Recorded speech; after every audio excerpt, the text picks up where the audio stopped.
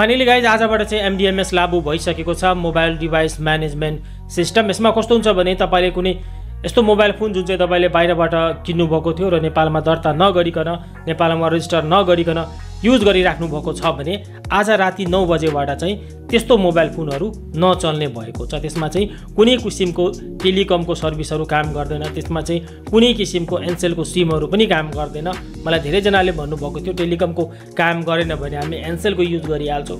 त्यसमा नेटवर्कै आउँदैन। नर्मल त्यसलाई चाहिँ तपाईँले युज गर्न सक्नुहुन्छ तर त्यसमा चाहिँ टेलिकमको नेटवर्कहरू काम गर्दैन चाहे एनसेल होस् चाहे एनटिसी होस्। सो यो स्टार्टिङ फेजमा चाहिँ नेपाल दूरसञ्चारले अथवा एमडिएमएसले यहाँनिर स्टार्टिङ फेजमा चाहिँ जुन आइफोन फिफ्टिन सिरिजका जुन आइफोन नयाँ लन्च भएको छ नि आइफोन फिफ्टिन सिरिज त्यसको चाहिँ पच्चिस सयवटा मोबाइल फोनहरू चाहिँ जुन चाहिँ नेपालमा रजिस्टर नगरिकन यतिकै युज गरिरहेछन्।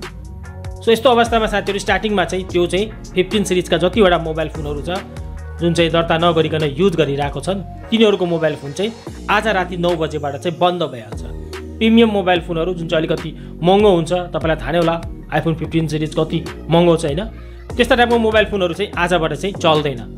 त्यसपछि तपाईँसँग अरू कुनै एन्ड्रोइड मोबाइल फोन छ जो दर्ता छैन भने त्यसमा चाहिँ अहिले चाहिँ कुनै प्रब्लम हुँदैन। तर स्टार्टिङ फेजमा चाहिँ आजबाट चाहिँ प्रिमियमबाट स्टार्ट गरेको छ होइन प्रिमियम मोबाइल फोनहरूलाई सर्वप्रथम त त्यसमा टेलिकमको सर्भिसहरू चल्दैन होइन।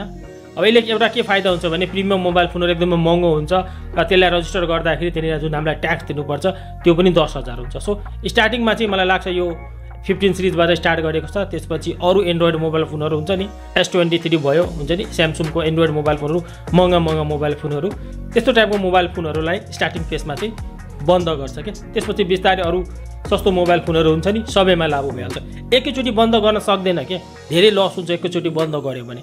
सो यो स्टार्टिङ फेजमा चाहिँ आइफोन फिफ्टिन सिरिजका मोबाइल फोनहरूलाई आज राति नौ बजेबाट चाहिँ बन्द गरिनेछ। त्यसमा चाहिँ कुनै किसिमको टेलिकमको अथवा एन्सरको सिमहरू काम गर्दैन।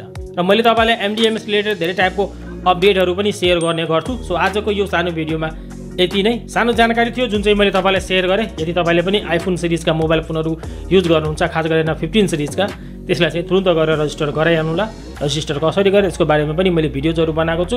सबै भिडियोजहरू म तपाईँलाई स्क्रिनमा देखाइरहेको छु र काम लाग्ने भिडियोजहरूको लिङ्क मैले चाहिँ तपाईँलाई भिडियोको तल पनि राखिदिन्छु। यस भिडियोलाई अन्तिम समय हेरिदिनु भएकोमा लाइक कमेन्ट र सेयर गरिदिनु भएकोमा धेरै धेरै धन्यवाद।